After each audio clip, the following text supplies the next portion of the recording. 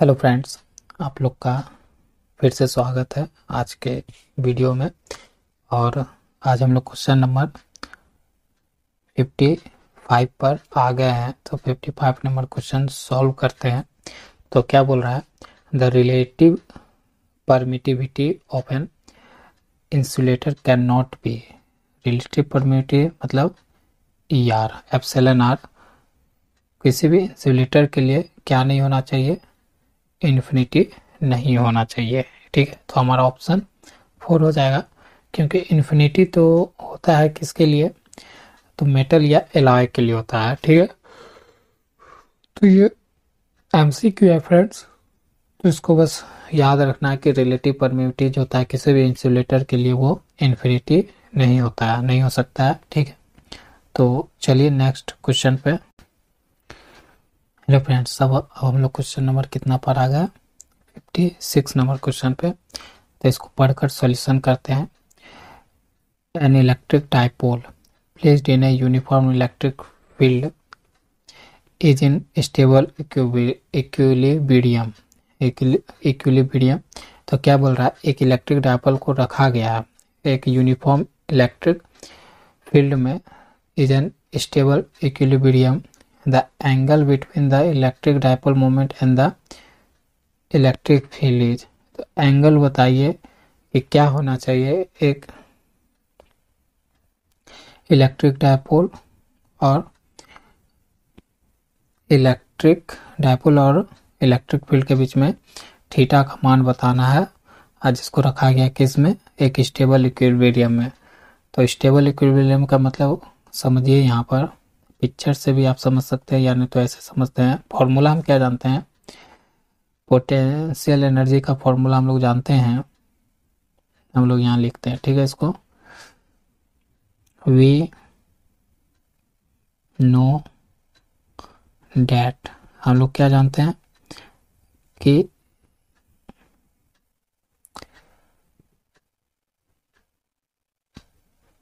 Potential energy बराबर क्या होता है हमारा? डायपोल गुना में माइनस डायपोल गुना में इलेक्ट्रिक फ़ील्ड कॉस थीटा। ये जानते हैं। तो बोल रहा है कि डायपोल कैसे प्लेस किया गया? Dipole is placed in, place है किसमें? In equilibrium.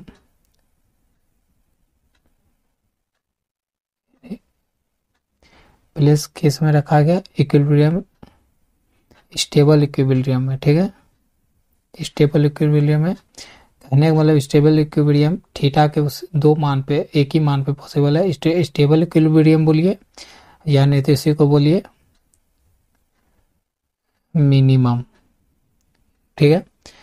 तो किस पे हमारा पोटेंशियल डिफरेंस मिनिमम हो जाता है या एक स्टेबल इक्विलिब्रियम में चला जाता है हमारा पोटेंशियल एनर्जी तो हम लोग जानते हैं ये हो जाता है। इसका फॉर्मूला होता है हमारा क्या? कि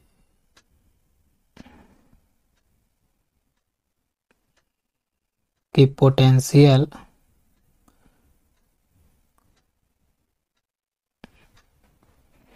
पोटेंशियल एनर्जी तो पोटेंशियल एनर्जी को रिप्रेजेंट करते हैं यू से। तो यू बराबर क्या हो गया? Minus P E cos theta ठीक है? तो हमारा पोटेंशियल एनर्जी मिनिमम हो या स्टेबल इक्विलिब्रियम में हो तो क्या लिखते हैं कि मिनिमम पोटेंशियल एनर्जी एहन सेट इन स्टेबल इक्विलिब्रियम का फॉर्मूला क्या होता है कि कॉस का जो मान होना चाहिए कॉस थीटा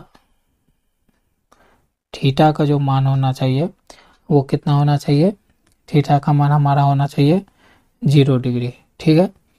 तो u बराबर पुट करोगे तो minus P A cos zero degree तो कॉस ज़ीरो डिग्री का मान क्या होता है? तो u equal to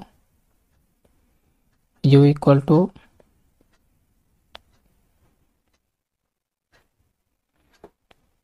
cos zero का मान आपका कॉस ज़ीरो का मान आपका होता है वन तो पी ई इंटू वन। तो ये इक्वल टू क्या हो जाएगा? माइनस पी ई ठीक है? तो हमारा, ये हमारा क्या दर्शाता है? ये फॉर्मूला हमारा दर्शाता है कि हमारा पोटेंशियल जो एनर्जी है वो कितना केस में है? मिनिमम है या नहीं तो स्टेबल इक्विलिब्रियम में है। स्टेबल इक्विलिब्रियम में है। तो इसी में पूछ रहा है कि एंगल बिटवीन जो एंगल बिटवीन पूछा जा रहा है कि एंगल बिटवीन इलेक्ट्रिक डायपोल और पोटेंशियल एनर्जी के बीच में क्या हुआ? एंगल तो कितना होगा? थीटा का मान हम कितना लिए थे? ज़ीरो डिग्री तो उसी हमारा क्या हुआ? इलेक्ट्रिक मतलब मतलब पोटेंशियल एनर्जी क्या हो गया? जी मतलब पोटेंशियल एनर्जी हमारा स्टेबल इक्विलिब्रियम में चला गया। तो इस दोनों के बीच में मतलब इस दोनों के बीच में एंगल क्योंकि इसी के एंगल पे निर्भर कर रहा है ना? पोटेंशियल एनर्जी तो उसका मान कितना हो गया? Zero degree. ठीक है फ्रेंड्स तो आपको समझ में आया होगा सोल्यूशन कि हमारा इक्विलिब्रियम कब कोई भी डायपोल अगर हम इलेक्ट्रिक फ़ील्ड में रखते हैं तो इक्विलिब्रियम कंडीशन में कब जाता है? जब हमारा कॉस्ट थीटा का मान क्या होता है? ज़ीरो डिग्री होता है। ठीक है फ्रेंड्स तो सोल्यूशन समझ में आया तो चलिए नेक्स्ट वीडियो में। हेलो फ्रेंड्स, अब हम लोग क्वेश्चन नंबर कितना बार आ गए हैं? फिफ्टी सेवन नंबर पे। ये एक एम क्यू टाइप का क्वेश्चन है। तो the dielectric use in high voltage transformer is तो डाइलेक्ट्रिक का अदर नेम क्या होता है फ्रेंड्स ये आप कमेंट करके बताना तो अगर आप इस वीडियो पे आते हो तो डाइलेक्ट्रिक का अदर नेम क्या होता है ये आपको लिख के सेंड करना है कमेंट में। और dielectric use in high voltage transformer is क्या होता है?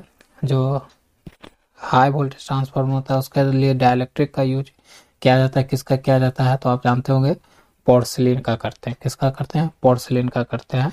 तो ये हमारा आंसर हो जाएगा, ठीक है? तो चलिए फिर से नेक्स्ट क्वेश्चन में बढ़ते हैं आगे।